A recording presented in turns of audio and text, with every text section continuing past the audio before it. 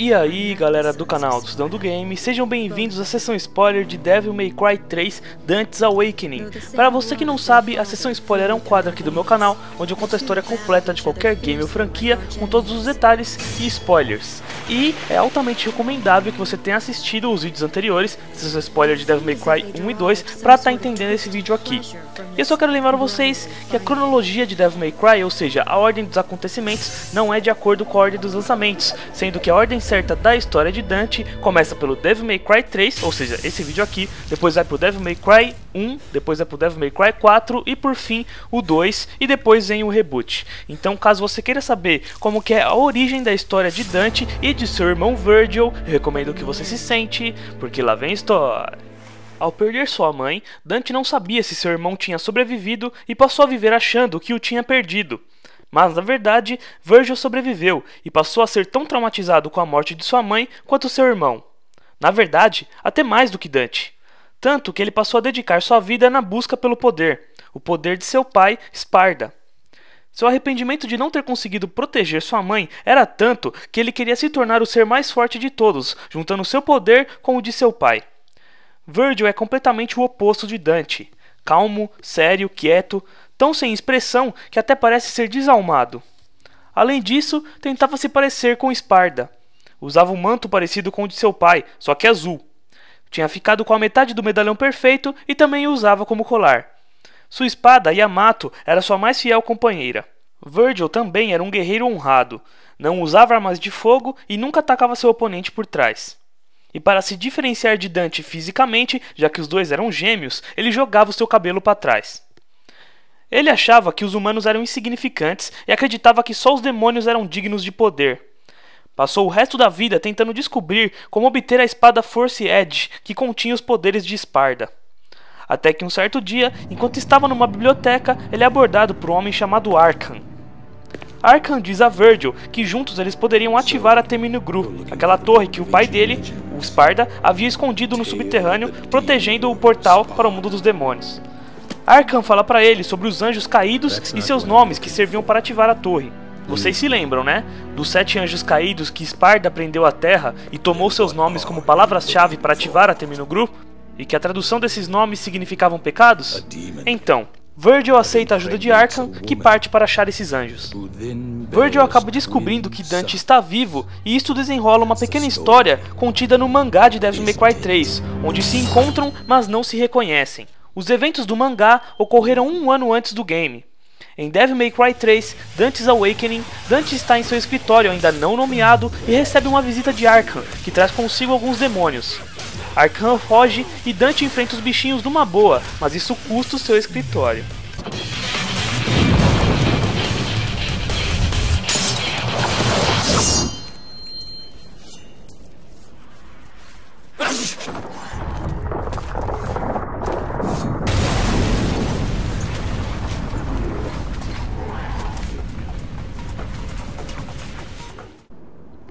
Ao sair na rua, Dante vê que uma torre começa a sair do chão.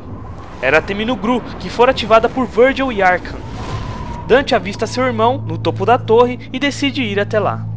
Na entrada, ele se depara com Cerberus, um cão gigante de três cabeças que era um dos guardiões da torre. Dante o enfrenta e ao derrotá-lo, Cerberus vê que Dante é um grande guerreiro e lhe entrega sua alma em forma de um chaco, e Dante decide fazer bom uso dele.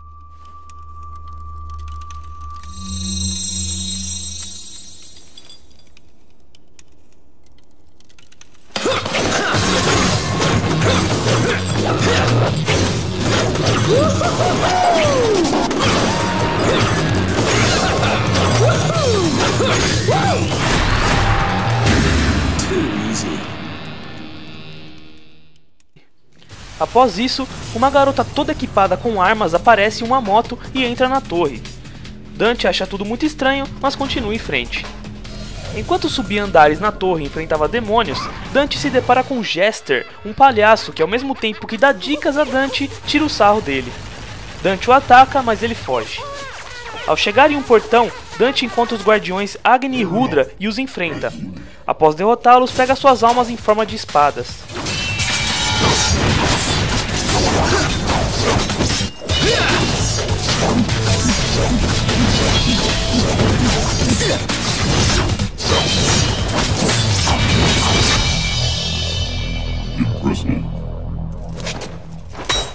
No talking.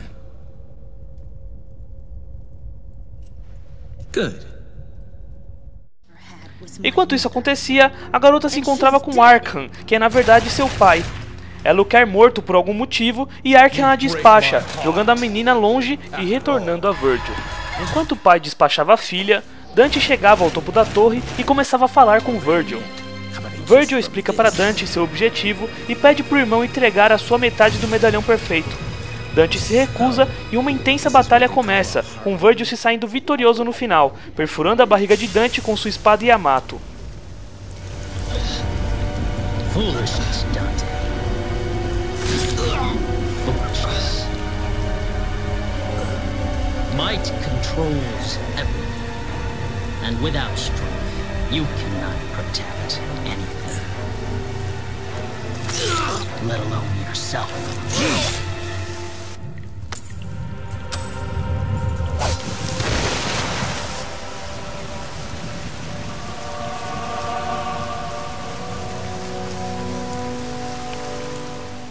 Virgil pega o medalhão de Dante e vai atrás de abrir o portão do mundo demoníaco com Arkham. Após o sangue de Dante tocar a espada Rebellion, ela brilha e o filho de Sparda ativa seus poderes demoníacos, retomando consciência e tendo suas feridas curadas. Dante pula da torre para tentar alcançar Virgil, mas acaba sendo engolido pelo guardião gigante, o Leviatã.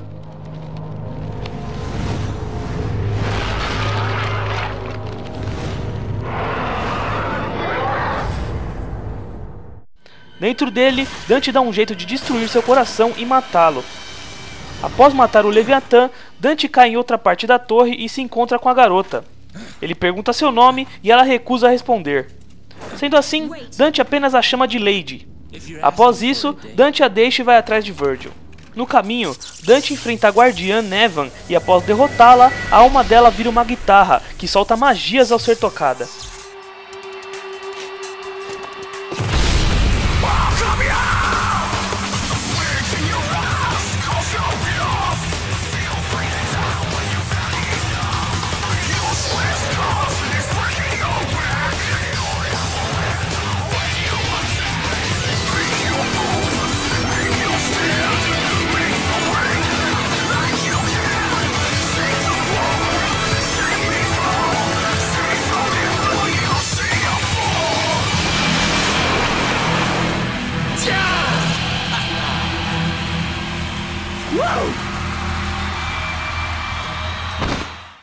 Enquanto isso, Virgil ativava alguns portões da torre junto a Arkham.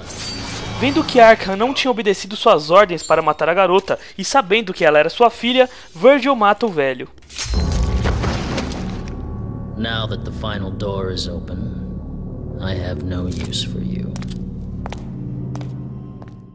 Momentos depois, Dante e Lady encontram o corpo de Arkham caído e Lady explica que ele era seu pai, mas que ela o queria morto porque ele havia matado a sua mãe numa espécie de ritual para tentar se tornar um demônio.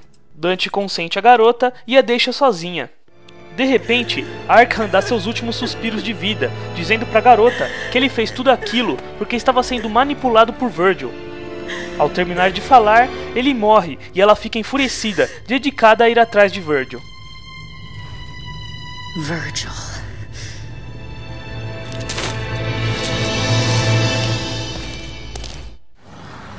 Dante encontra o último guardião da torre, Beowulf.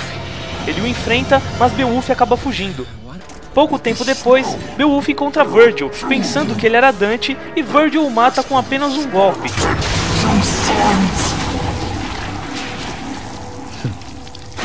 Pegando sua alma em forma de luvas e botas metálicas.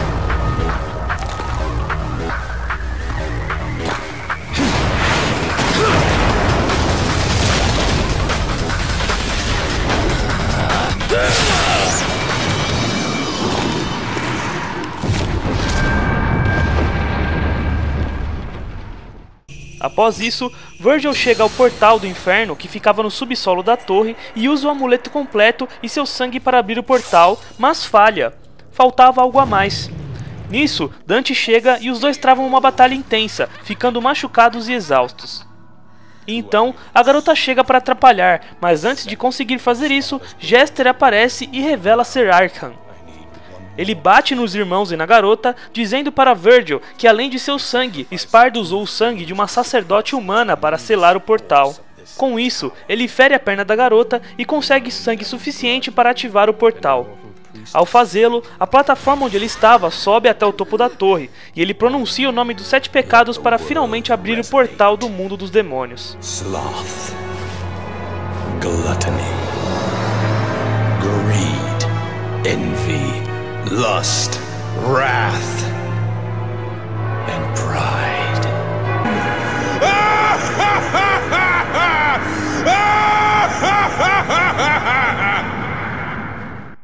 Lá embaixo, Virgil sumiu e Dante se separou de Mary. Durante o discurso de Arkham como Jester, ele pronuncia o nome da garota, que é Mary. Enquanto Dante subia a torre, Arkham encontrou a Force Edge no inferno e com o um amuleto perfeito fez ela assumir o poder de Sparda. Ao pegá-la, o próprio Arkham fica com a aparência do lendário Cavaleiro das Trevas.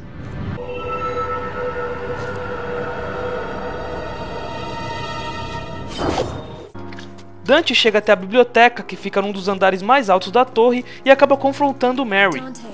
É claro que ele só brinca com ela, mas ele explica que tudo isso também envolvia a família dele e que ele pararia Arkham. Ela entende e dá sua bazuca a ele, ficando sozinha na biblioteca. Dante consegue entrar no inferno e se encontra com Arkham. Ele zoa, dizendo que a aparência de seu pai parece uma privada bagunçada, e após Arkham se transformar no monstro mais tosco que eu já vi em minha vida, eles se enfrentam. A batalha só é interrompida por Virgil, que chega para ajudar Dante. Eles detonam Arkham e o finalizam juntos, cada um com uma pistola de Dante.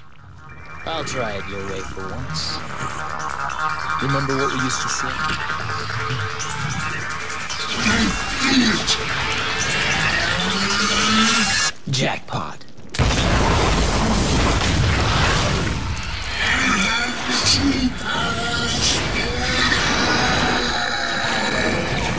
Not very classy for someone's dying words.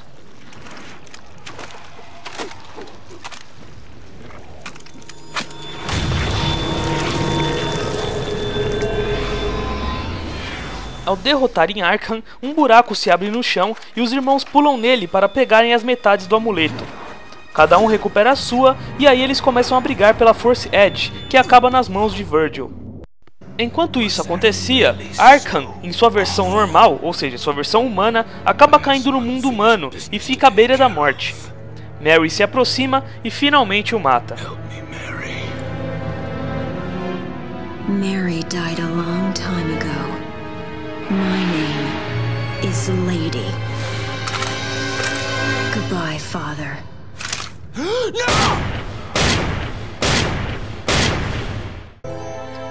De volta aos irmãos, Virgil pede novamente o amuleto a Dante, afirmando que quer mais e mais poder. Mais uma vez, Dante se recusa e uma batalha épica e intensa se inicia. No final, Dante sai vitorioso.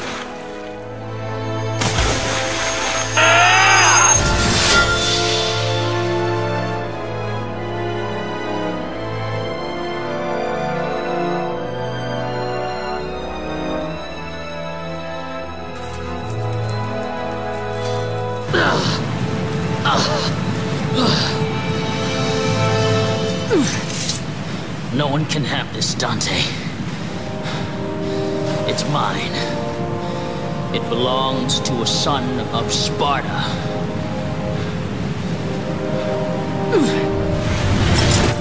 Leave me, Bill, if you don't want to be trapped in the demon world. I'm staying. This place was our father's home.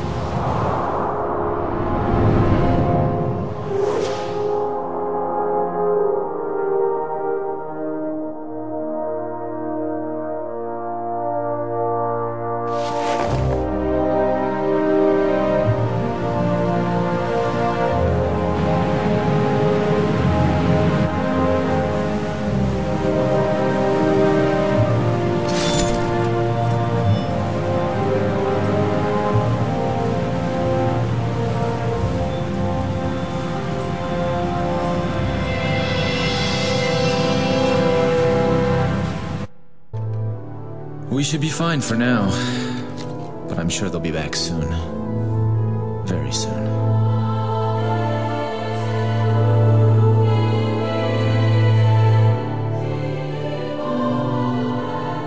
Are you crying?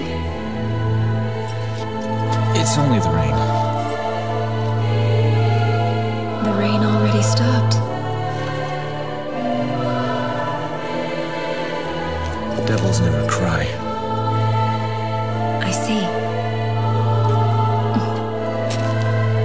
Maybe somewhere out there, even a devil may cry when he loses a loved one. Don't you think? Maybe. By the way.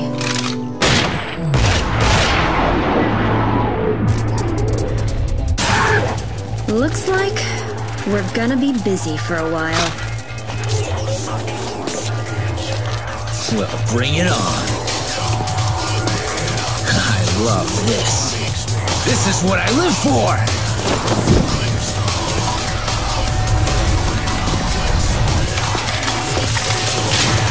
I'm absolutely crazy about it!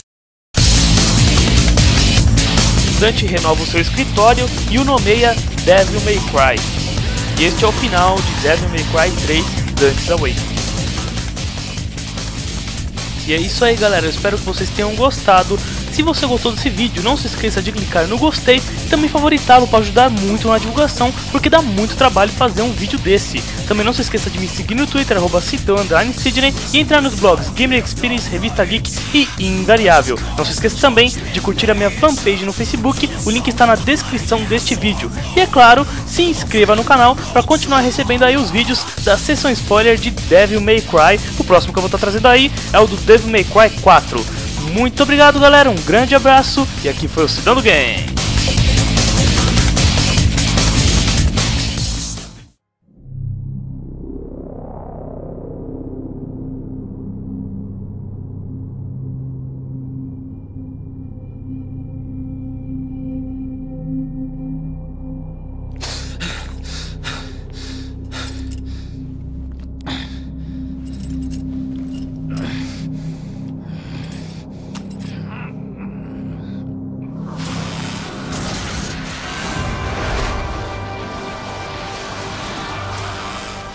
It'll be fun to fight with the Prince of Darkness. If my father did it, I should be able to do it too. Ah!